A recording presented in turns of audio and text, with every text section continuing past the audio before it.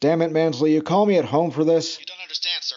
It, It it ate my car. and you saw this thing. No, I didn't actually see it. It went off into the the woods. So you don't have any evidence. But but but sir, I've got an eyewitness. An eyewitness with a concussion. This thing! This thing is a menace. It it, it, it, it tore up a power station. It it caused a train wreck. What did? Tell me again, Mansley, and this time Listen to yourself. A giant metal monster. Please, sir. I got a feeling about this one. That sounds swell, Campbell. Let me explain to you how this works. If you told me you'd found, say, um, a giant footprint, I might send over an expert to make a plaster cast of it. Hell, you get me a photograph of this thing and I could probably get some troops over there.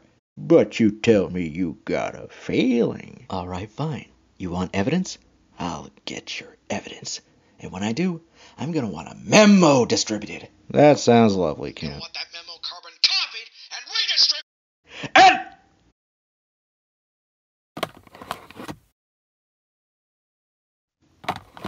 What's the matter? Get you